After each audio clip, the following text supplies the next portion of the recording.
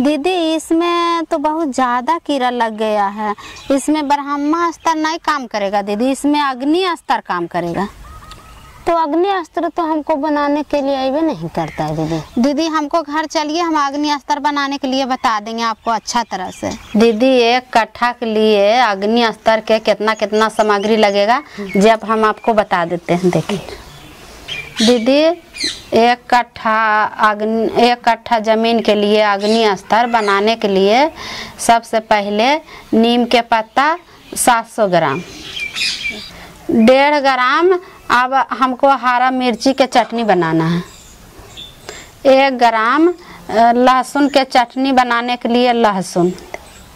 और दीदी, अब एक ग्राम खाने वाला तमाकुल देना है। साढ़े तीन सौ एम एल गौमूत्र इस सामान सामग्री के लिए पीसने के लिए फिर खल के ज़रूरत है।